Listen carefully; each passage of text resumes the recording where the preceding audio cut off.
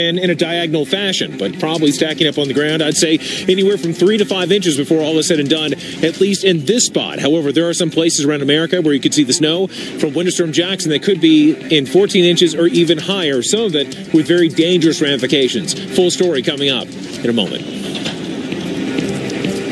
All right, Reynolds, thank you so much. Welcome back into Weekend Recharge. It is half past the hour. I'm Maria LaRosa. And I'm Alex Wilson. Winter Storm Jaxon dominating our weather headlines today. However, this system not the only game in town. We got to give you the full look. So many sides to it, so we want to get you recharged from this weekend, recharged for the week ahead with our Sunday snapshot. This is how we show you the big stories that we're covering for you. Obviously, Winter Storm Jaxon, gusty winds, snow, blizzard conditions, but how about stormy, gusty winds with severe threat? We'll time out all of the impacts here. Meanwhile, high pressure is dominating the eastern mm -hmm. side of the country, which means, yeah, 10 to 25 degrees above average from the Gulf Coast to the Great Lakes. That may not last all that long because of our winter storm Jaxon. So we'll talk temperatures as well. And in the meantime, Philadelphia and Boston both say thank you for the nice weather thank because you. we are hosting awfully important football games today. We'll have a look at that forecast as well. We have it all for you, but we want to start with meteorologist Reynolds Wolf live in Denver for us, our real life Stetson man with your mm -hmm. hat Mm. And uh, Reynolds, we know the snow was a little bit more robust earlier, so they have a little bit more to go in Denver.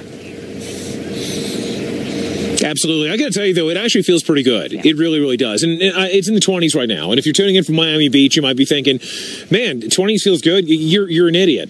And you might be right, but I, will tell you that um, it, it compared to what we've had over the last couple of weeks, the, the bitter cold, the Arctic air we had, say in Boston when we were live in, in Long Wharf a couple of weekends ago, we had minus 27 degrees an air temperature of minus three. So this monster is not the same as that one. However, there will be problems with it. The biggest problem we're going to have is probably going to be travel wise. In fact, take a look at this video that we have from across the Wasatch Range, and you'll find Salt Lake City where they were really busy yesterday uh, trying to ice off, de ice the, the airplanes, and certainly a big hassle for a lot folks. A lot of delays. And I have to tell you, though, there is a great component with it. Uh, you've got problems in the roadways, but high up in the Wasatch Range in places like Snowbird, they're getting the snow that they desperately have been asking for, and they've got it. Here in Denver, the situation is one where people are not shying away from it. It's not garlic to a vampire. People have been waiting for the snow. It's more like a what took you so long kind of situation. Well, I'll tell you, as we take a look at the radar, the radar shows that it is coming down. We've had times where it's been rather intense, certainly early this morning. We've had times where it's been a little bit lighter as is the situation presently. However, it's going to continue on and off until we get to the late evening hours. And by the time that happens, I think we could see anywhere from three to five in downtown Denver, but some locations perhaps as much as seven inches of snowfall, and then getting to a halt by the time we get to the later hours, nine o'clock, 10 o'clock, and that is certainly some of the better news. The uh, bad aspect of it, though, uh, well, you know, a little bit farther to our east parts of 70, there's a very real possibility that we're going to have some blizzard conditions, very poor visibility, treacherous driving, and that extends a long way, Maria, all the way back up into the Corn Belt and into the upper Midwest. Absolutely, Reynolds. Thank you so much, by the way, live for us in Denver. Looks beautiful there, but he is absolutely correct. It is going to be really, really bad as we get in through tonight. So think about travel once the sun goes down, I-70, I-80, all in it. And you see, especially areas of concern in the pink pink, the blizzard warnings. Remember, it doesn't matter the snowfall forecast here. It's that combination of either the falling snow or the blowing snow um, that reduces visibility to less than a quarter mile and you have yourself a blizzard. So uh, we could potentially have that absolutely, a big dip in the jet stream, that upper level energy, giving it power, that wind power that will continue to develop. Not to mention the storm threat out ahead of it. But yes, where we have the moisture and that cold air, we're having that snowfall. It, relatively speaking, it's a narrow band that we will see but where it's been coming down, obviously 25, I-70, uh, seeing the darker shades of blue on the radar, a little bit heavier snowfall. We're starting to see that begin to fill in. So if you're heading westbound out of Sioux Falls towards uh, Rapid City, uh, tough driving right now, very quickly driving, uh, changing driving conditions. So that's going to be our focus. I-70, one of those interstates, you head out Kansas City, showers and thunderstorms, maybe, and then you transition to heavy, heavy snow. By the way, Colby up towards uh, Goodland, Kansas, you've only managed a couple of 12 inches of snowfall this entire season, by the way. So that is uh, obviously a high impact storm for you this go around.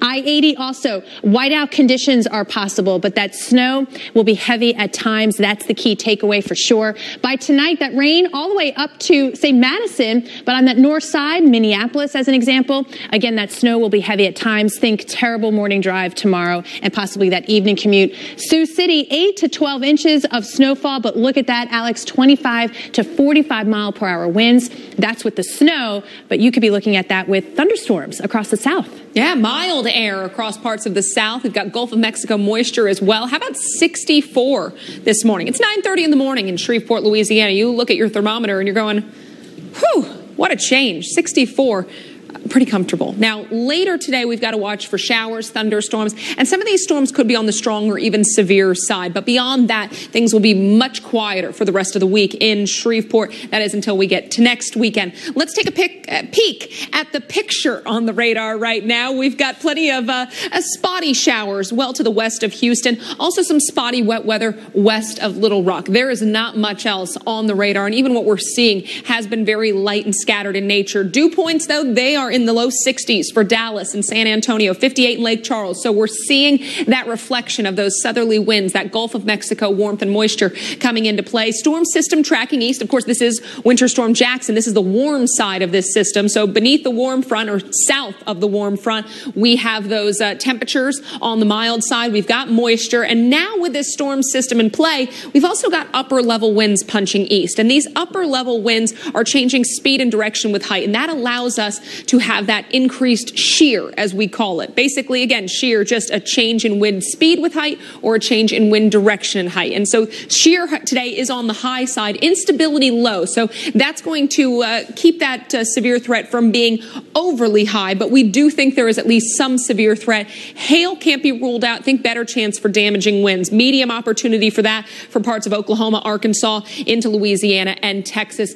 Isolated tornado also a threat, but I think isolated, the key word there. Highs today, Maria, in the 60s and 70s. As you might imagine, we are tracking a lot of changes for you right here on Weekend Recharge. The snow coming down.